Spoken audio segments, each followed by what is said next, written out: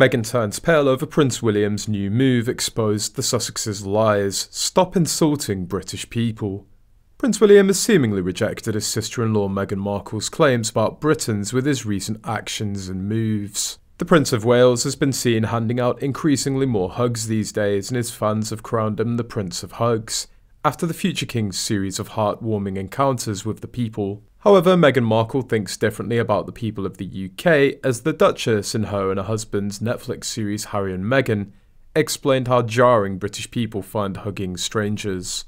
Talking in the docu-series, Meghan recalled, When Will and Kate came over and I was meeting her for the first time, I remember I was in ripped jeans, I was barefoot, like I was a hugger. I've always been a hugger. I didn't realise that that's really jarring for a lot of Brits. I started to understand that the formality on the outside carried through on the inside. Harry also mentioned the moment in his memoir Spare, describing how his brother William was shocked by Meghan's physical contact when they met, revealing, I introduced Meg, who leaned in and gave him a hug, which completely freaked him out. He recoiled. He also stated that while his brother wouldn't usually hug anyone that he didn't know, it was normal for Meghan to do so. He added, Maybe Willie expected Meghan to curtsy.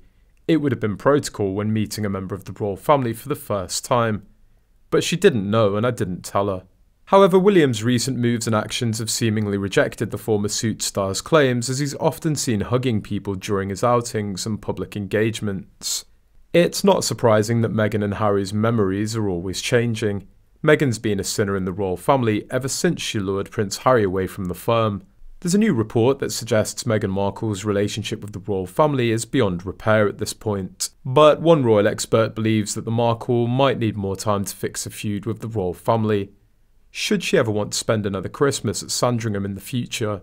In an interview with The Mirror, relationship expert Luella Alderson believes that Meghan Markle has a long way to go if she's ever going to stand in the same room with King Charles or even Prince William and Princess Catherine again.